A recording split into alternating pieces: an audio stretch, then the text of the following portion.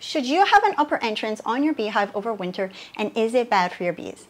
That's the question I am addressing in this YouTube video. I'm going to go through the pros and cons to an upper entrance, share with you some research about condensation, humidity, and ventilation within the beehive so that you can decide what would be best for you and your bees. The benefits to this upper entrance, there, there's two main ones. One is ventilation and the other one is an additional way for the bees to enter and exit the hive.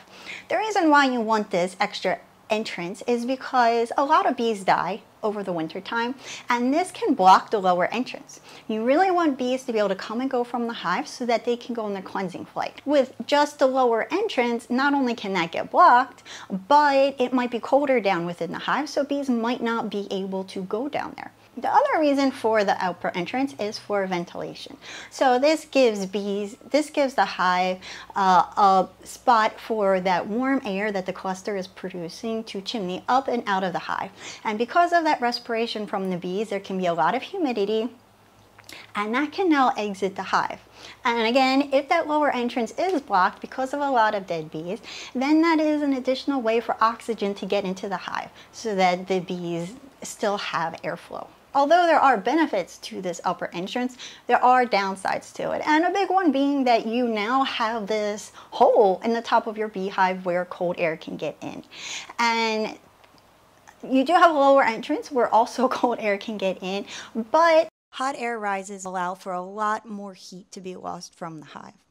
Also, the cluster starts at the bottom of the hive, but they make their way up to the top of the hive as they eat through the honey storage. By the time they are at the top of the hive, it's also going to be later on in the winter, closer to the time that the queen is going to start laying, and there's going to be brood that needs to be kept very warm. The bees can still produce enough heat to keep the brood and the cluster warm, but it will require more energy from the bees, which could potentially cause them to have to eat more honey produce more respiration, which in turn produces more vapor, which causes more condensation in the hive.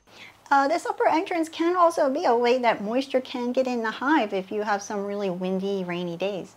Now on to some research findings. Inside the hive, honeybees prefer a roughly 75% relative humidity.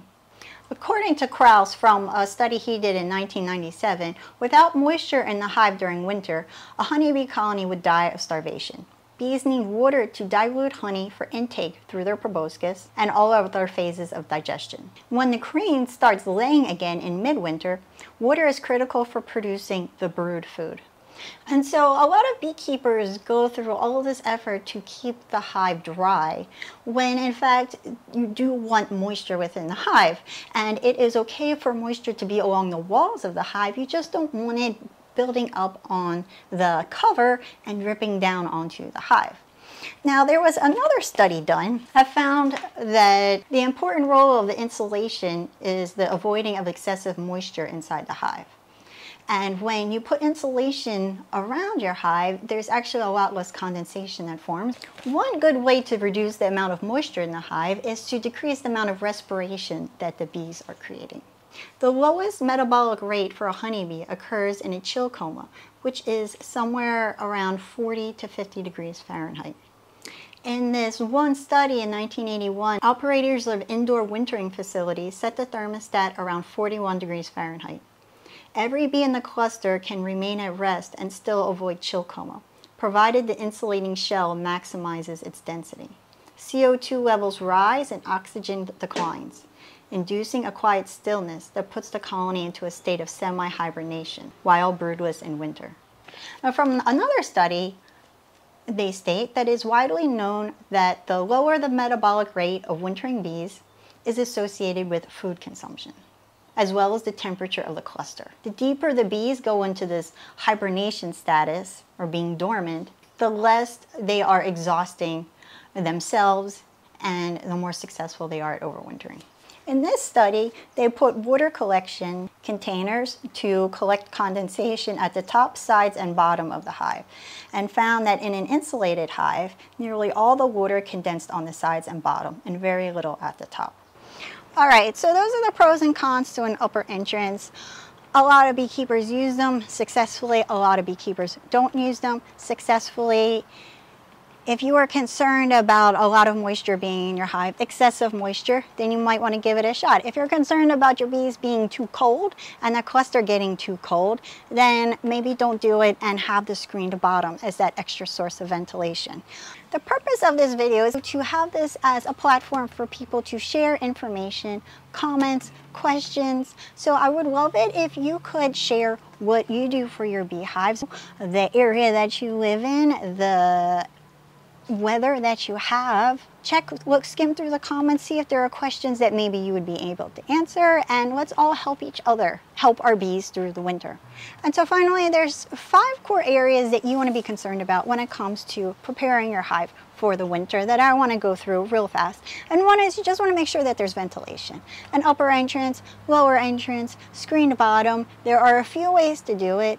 Either way, you want to make sure there is that lower entrance and you want an additional way for the hive to get ventilation just in case that lower entrance is totally blocked off.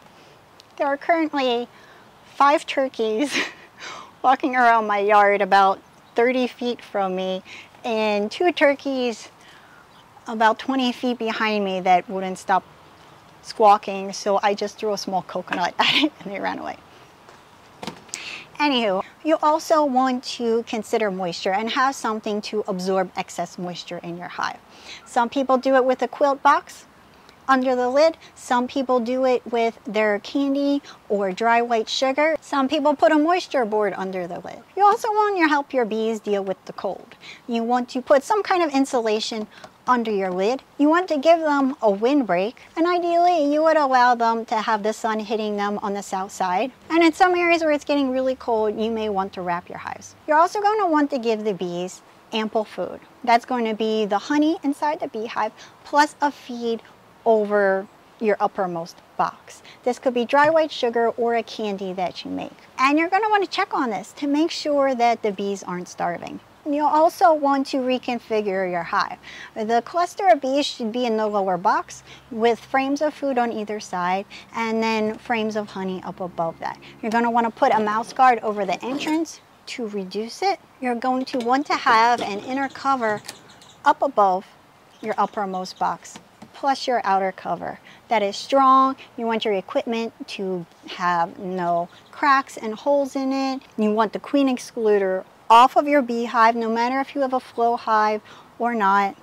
And then of course another option is to get a heated bottom board. I have a link to someone that sells them on the mainland in the United States and that is they are electric and he says they heat up the hive can heat up the hive up to 70 degrees.